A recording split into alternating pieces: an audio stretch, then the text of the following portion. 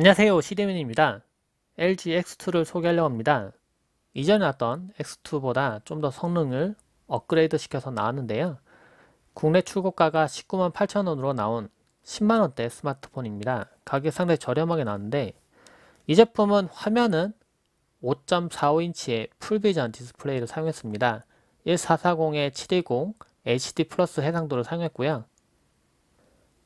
CPU는 퀄컴 스냅드래곤 425 1.4GHz로 동작하는 quad-core CPU를 사용했습니다. 메모리는 2GB 사용됐고요. 롬은 32GB 사용됐고 측면에 있는 micro SD를 확장시키면 2TB까지 용량 확장할 수 있습니다. 전면 카메라는 500만 화소, 후면은 1300만 화소의 카메라를 사용했고요. 배터리는 3000mAh의 어, 대용량 배터리를 사용했습니다. 커버는 분리가 되진 않아서 배터리를 교체할 수는 없는 타입이고요. 이 제품은 미 국방부 군사표준 규격 밀스펙이라고 하죠. 고온과 저온, 열 충격, 습도, 진동 충격에 6개 항목을 통과했다고 합니다. 그래서 좀 더 튼튼하게 만들어진 스마트폰이에요. 하단에는 마이크로 USB로 충전할 수 있는 단자가 있고요. 이어폰 단자와 뭐 스피커가 있습니다. 성능을 보기 위해서 안투도 벤치마크를 돌려봤습니다. 45,015점 정도 나오고요. 나머는 점수는 좀 이렇게 되는데 좀 보시고 여러분들이 사용하시는 스마트폰이랑 비교해 보시면 될 것 같아요. 그래서 뭐 제가 사용하고 있는 스마트폰보다 뭐 점수가 이게 더 높다면은 이게 좀 더 빠른 거가 될 테고요. 체감상 성능이 사용자들한테 엄청 중요하기 때문에 이 점수를 보여드린 겁니다. 실제 체감 성능은 상당히 중요해요. 그래서 뭐 벤치마크 성능 이거보다도 실제 사용했을 때 얼마나 최적화가 잘 됐느냐 따라서 사용자가 느끼는 어 이거 좀 쓸만한데? 라고 느낄 수도 있고 아닐 수도 있습니다. 만약에 고성능 스마트폰을 좀 많이 쓰신 분들이라면 이걸 조금 느리게 생각할 수도 있을 것 같고요. 뭐 그게 아니고 뭐 전화 정도만 하고 유튜브 보고 라디오 듣고 뭐 이 정도만 사용한다면 성능이 그렇게 많이 떨어져 보이지 않을 수도 있습니다.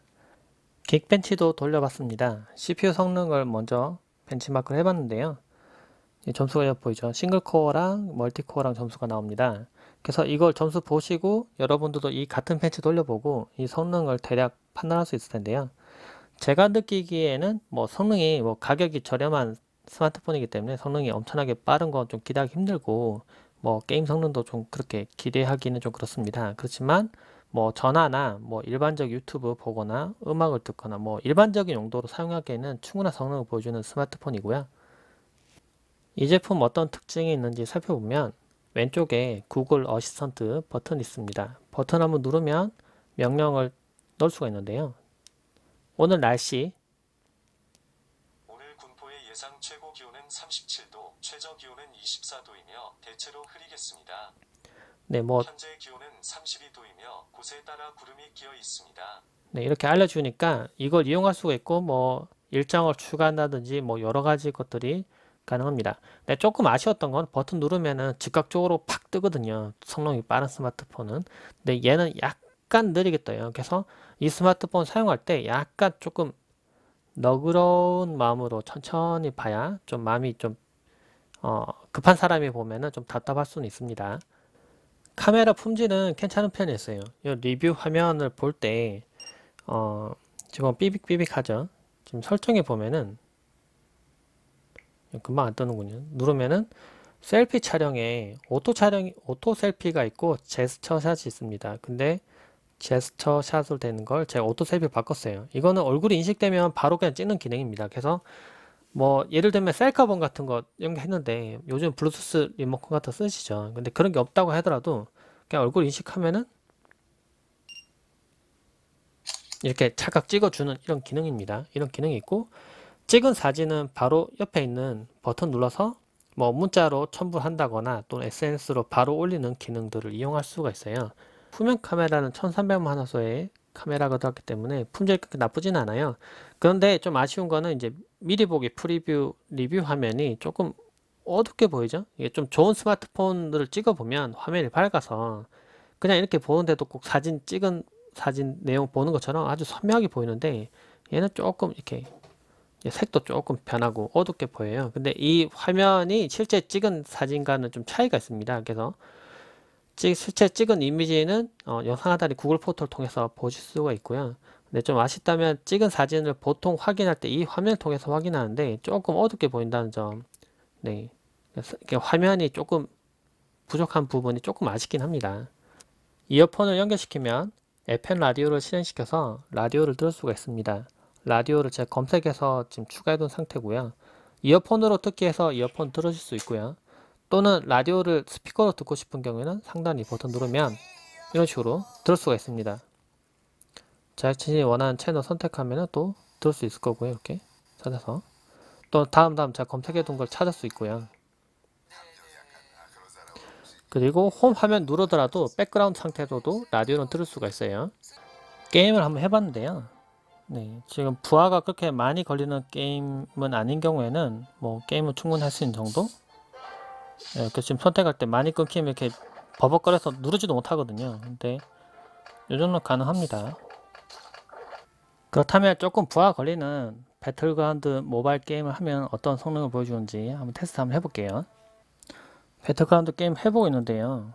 아, 좀 시작할 때부터 벌써 불안하네요. 뭔가 엄청 버벅 이런 게 느껴지죠? 지금 이렇게 내려오는데 어디 어디? 어?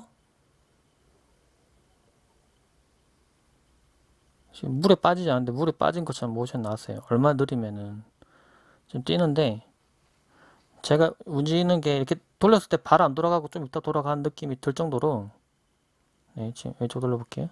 발 안 가죠? 네, 많이 느립니다. 배틀그라운드 게임은 못할 것 같아요. 지금 해봤는데 뭐 그래픽 옵션이 애초에 그 중간이나 높음이 선택이 안 될 정도로 낮음으로 선택되거든요. 근데 낮음으로 했음에도 움직일 때 많이 끊기고 버벅여서 너무 고사의 게임은 이제 좀 무리다. 네, 할 수가 없고 조금 성능이 낮은 게임을 하기에 적합하다. 뭐 게임을 게임을 위해서는 이 정도 낮은 성능의 그래, 그 스마트폰 선택하면 안 되겠죠, 물론. 네, 역시 가격이 좀 저렴한 만큼 성능은 좀 이런 부분은 좀 안 나오는 부분이 있네요. 유튜브 보기를 할 때 어느 정도 성능이 되는지 좀 볼게요. 유튜브를 재생해보고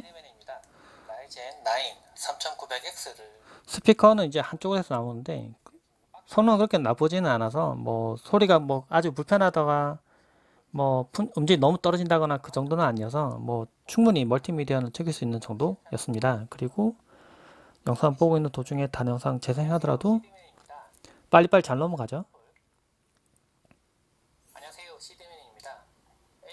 네, 이렇게 영상 같은 거 보는 거는 크게 문제 없는데요.